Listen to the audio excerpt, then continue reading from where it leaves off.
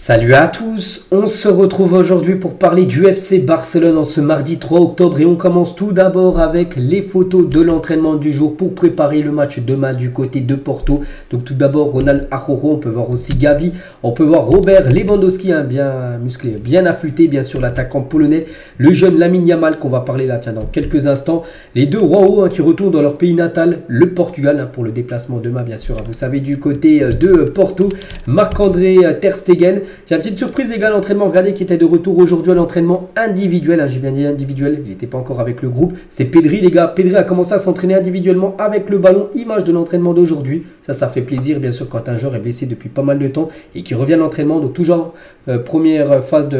enfin, euh, par rapport à son établissement, toujours euh, voilà, s'entraîner individuellement, ensuite collectivement. Donc voilà, déjà le revoir balle au pied, ça fait plaisir bien sûr hein, pour Pedri, voilà, souriant.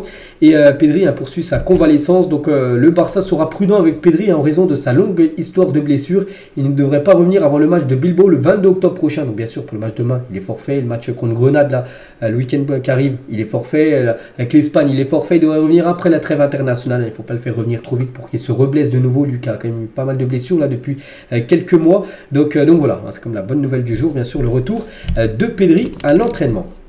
Concernant les gars, le match demain contre l'équipe de Porto, le groupe convoqué par Xavi a été Donc voici tous les joueurs euh, présents, donc les joueurs absents, on les connaît, hein, Francky de Jong, Pedri, euh, il manque qui d'autre euh, Voilà, j'ai ces deux-là en tête, peut-être il y en a des autres, mais je les ai plus en tête là, sinon que ce soit Balde, Cancelo, Ferran Torres, Gavi, Lewandowski, Rafinha aussi que j'ai oublié de dire les gars, qui est, bien sûr aussi présent. donc Gundogan également présent, donc voilà, le groupe bien sûr pour le déplacement du côté de cette équipe de Porto. Et concernant la compo, les gars, on connaît il y a des petites indications hein, que Lamine Yamal et Fermin Lopez pourraient débuter contre l'équipe de Porto, les deux, les deux hein, jeunes, hein, parce qu'ils sont très jeunes les deux, euh, pourraient être dans le 11 de départ pour cette rencontre demain contre l'équipe portugaise, un match important. et la participation d'Oriol Romu euh, contre Porto est incertaine. Xavi pourrait compter sur Gundogan en numéro 6 après sa bonne performance contre Séville. Gavi et Fermin euh, Lopez vont accompagner l'Allemand au milieu de terrain. C'est pour ça que bah, Oriol Romu, du coup, pour en faire les frais, pourrait commencer bah, du coup sur le banc, le, le genre, du coup pour remplacer, ce serait plutôt Gundogan qui serait le pivot demain pour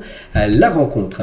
Euh, concernant le programme aujourd'hui, donc horaire aujourd'hui avant le match de mercredi, donc tout d'abord aujourd'hui la conférence de presse, et que là on va pas la dire parce que je ne l'ai pas encore. Hein. La conférence de presse on la fera demain, euh, celle de Xavi bien sûr, qui aura lieu aujourd'hui à 18h15. Hein.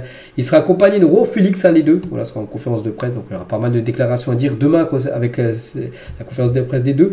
Et il y aura une séance aussi d'entraînement ce soir à 19h dans le stade du Dragon, hein, le stade euh, de Porto.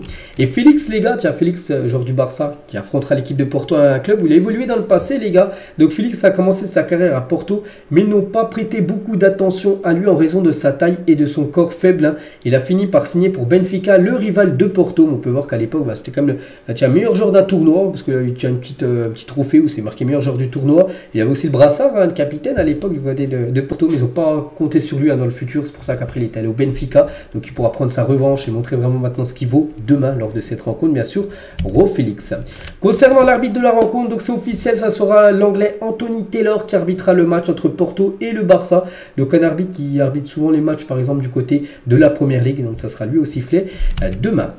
On continue euh, les deux une aujourd'hui, Mondo Deportivo et Sport. Donc euh, tout d'abord, Mondo Deportivo Sequeda et ça parle bien sûr de Lamine Yamal et la une Journal Sport. Hein, euh, toujours avec comment dire Juan Laporta avec 1000 millions, donc 1 milliard, c'est la clause libératoire parce qu'on l'a pris, il y a le communiqué officiel de la part du Barça. Lamine Yamal prolonge jusqu'en 2026 au Barça. Je l'avais dit à hein, la semaine dernière que ça allait certainement se faire lundi, donc ça a été officialisé hier lundi. Donc voilà, Lamine Yamal les gars prolonge son contrat. Donc Lamine Yamal a sur son compte Instagram. La route a été longue pour arriver ici. Merci à tous ceux qui ont été avec moi pour continuer avec l'enthousiasme à Visca. El Barça, il a mis enfin quelques photos qu'il a pu mettre hein, sur, ses réseaux sociaux. Il a également dit hein, Je suis content et fier de signer trois ans de plus dans le club de ma vie. Mes meilleurs moments quand je suis arrivé à la Masia et quand j'ai débuté en équipe première. Je veux gagner de nombreux titres avec le Barça. C'est le rêve de tout enfant ici. Voilà ce qu'il a pu dire hein, lors de l'interview qu'il a fait devant la Masia, parce qu'on peut voir Masia, tiens, le nom, euh, enfin, le, nom est inscrit euh, derrière. Hein. Donc la Yamal et toute sa famille, parce qu'il a invité toute sa famille pour ce grand jour hein, de prolonger. C'est son premier contrat pro, les gars, parce qu'avant c'était seulement des contrats aspirants, des contrats jeunes qu'il avait du côté du club, vu qu'il est encore jeune, il a seulement 16 ans. Et là, c'est son premier contrat professionnel qu'il signe du côté euh, du club Blaugrana. Et on peut le voir la main dans la main avec sa, grand-mère. Et la grand-mère de la Yamal, je suis très content du renouvellement. C'est mon premier petit enfant et j'ai toujours cru en lui. Être très très fière bien sûr hein, de voir son petit enfant euh, bah, jouer hein, du côté du Barça. Et un entraîneur portugais s'appelle Carlos Carval, Carvalhal, il a dit à Lamine Yamal peut atteindre le niveau de Mbappé dans le futur. Hein. Il a également dit, c'est un entraîneur portugais, donc quand Lamine commence, il fait très bien. Et quand il joue 10 minutes, il fait très bien aussi. Voilà, que ce soit un titulaire où euh, il joue les 5 minutes, dernières minutes, mais il fait à chaque fois des bonnes choses. Hein. Cela me rappelle le processus de Cristiano Ronaldo sous Alex Ferguson à Manchester United. C'est un processus très important pour sa croissance d'une fois commencer titulaire, d'une fois être euh, plutôt sur le banc et toujours surtout d'être bon, régulier. C'est ça vraiment où on voit les grands joueurs, c'est d'être régulier quasiment match après match. Bon après il y a des joueurs qui peuvent passer à côté de leur match, ça arrive, mais très rarement. Et là Minimal pour l'instant, bah, c'est très rare hein, qu'il passe complètement à côté, euh, des matchs qu'on peut voir du côté du Barça. Les travaux se poursuivent au Camp Nou les gars, une petite euh, photo de temps en temps je vous montre hein, bien sûr le stade actuellement en travaux total, il n'y a plus de troisième étage les gars maintenant on a l'impression qu'il n'y a jamais eu de troisième étage, si il y en avait bien mais là, tout a été enlevé. Donc il n'y a plus de siège, il n'y a plus de pelouse, il n'y a plus rien. N'oubliez pas que ce stade, bien sûr, est en travaux. Il devrait être fini en 2026, dans 3 ans. Mais le Barça pourra de nouveau jouer dedans euh, lors de la prochaine saison, mais avec la capacité euh, réduite. Rafinha sur son compte Instagram, il a dit eh bien je voudrais venir ici pour vous enfin, pour remercier tout le monde pour l'amour et les messages qu'il a reçus par rapport à sa blessure. Hein. Vous envoyez une énergie positive. Malheureusement, je serai absent pendant quelques semaines, mais bientôt je serai de retour plus fort que jamais. On espère voir son retour pour le Classico a prévu qu'il y a dans le 28 euh, octobre prochain, fin du mois. Donc euh, voilà, concernant le, match là, les matchs de la semaine avec le, Brésil aussi, hein, la, trêve internationale sera bien sûr euh, forfait. Messi a signé des maillots du Barça du côté de L'Inter Miami, là, on peut voir euh, qu'il a fait quelques dédicaces, puis il y en a qui lui ont présenté des maillots du Barça, tout simplement pour faire une signature. Hein. Et un journaliste espagnol, les gars, sur l'émission El Chirinto TV, il a dit Messi fait partie des 30-40 meilleurs joueurs de l'histoire. Totalement fou, les gars. Pour moi, c'est le numéro 1, bien sûr, Messi. 7 euh, ballons d'or, bientôt le 8 Il a gagné la Coupe du Monde, la Copa América, la Ligue des Champions. Il a quasiment tout remporté où il est passé. Il est bien sûr le numéro 1 euh, du football et de l'histoire même du football. Euh, des nouvelles cas de Abdé qui avait quitté le Barça parce qu'il voulait jouer beaucoup plus, deux minutes, hein, voilà, parce que c'était surtout une priorité pour lui, jouer plus. Donc il était parti du Betis. Le problème, c'est la même chose du côté du Betis. Il n'a débuté qu'un match sur les quatre euh, pour le Real Betis. Voilà, seulement une fois titulaire sur ses quatre derniers matchs hein, du côté de son nouveau club. Julien Arroyo, un joueur prêté par le Barça à l'équipe de Las Palmas. Donc il a été sorti blessé à la 30e minute de jeu hier, parce qu'hier il y avait Las Palmas Celta Vigo. Son équipe s'est imposée 2-1. Il est sorti sur blessure à la 30e. Hein. On espère que c'est pas grave hein, pour euh, le joueur de l'équipe euh, B du FC Barcelone. Le milieu de terrain de Juvenile B, donc c'est l'équipe U19 réserve, hein, l'équipe B, il s'appelle Wesley Dual. il est considéré comme le N'Golo Kanté de la Masia. Je ne pense pas que j'aimerais jouer pour le Real Madrid. Donc voilà ce qu'il a dit.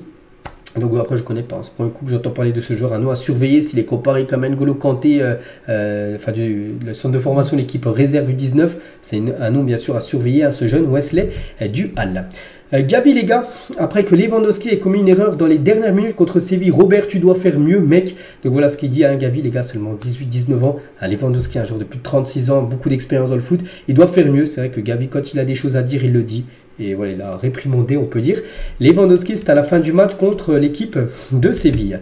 Euh, le jour idéal de Frankie de Jong, les gars, la vitesse de Mbappé, la défense de Van Dijk, dribble de Messi, intelligence de Messi, finition de Messi, le style de Neymar et le leadership de, Tadic, hein, son ancien coéquipier qu'il avait du côté de l'Ajax. Donc voilà, pour lui, c'est le joueur parfait pour euh, de Jong. Jules Koundé, les gars, avec le maillot rétro euh, du Barça, il y a pas mal d'années, c'était un maillot, euh, enfin, le Barça avec déjà le logo en plein milieu, alors que là, il est plutôt à gauche. Hein. et, bon, à gauche pour moi, à droite, c'est à droite pour vous. Bref, et c'était un maillot argenté. Hein. et aussi ce maillot rétro, les gars, et aujourd'hui, tiens, ce 3 octobre, hein, en 99, un Puyol a fait ses débuts officiels en Liga avec le Barça. C'est devenu une légende bien sûr totale euh, du, euh, du, club. Et on finit les gars avec euh, ce 11, les gars, le meilleur 11 de la Liga du 21e siècle selon le, le site S90. Donc c'est depuis l'année 2000 jusqu'à l'année 2023 Voilà, d'après eux, c'est ça le, plus grand 11, on peut dire. Donc il y a soit des joueurs du Barça, soit des joueurs du Real. Donc concernant le joueur du Barça, il y a Puyol qu'on parlait juste avant, Daniel Alves, il y a Iniesta, il y a Ronaldinho et il y a Léo Messi. Donc oui, il est plutôt pas mal. Après, tu aurais pu rajouter d'autres joueurs, mais voilà, aussi du côté du Real, il y a aussi des grosses légendes. Donc je pense que l'équipe est plutôt bien. Ça fait moitié Barça, moitié Real Madrid. Donc, euh, donc voilà, concernant bien sûr ce 11 de la Liga. Donc voilà les gars ce qu'elle va dire. J'espère que ça vous a plu. On se retrouve demain. Demain, bien sûr, on fera l'avant-match hein, de la rencontre contre l'équipe de Porto prévue euh, demain soir. Moi, je vous laisse. Je vous souhaite un bon mardi et à demain.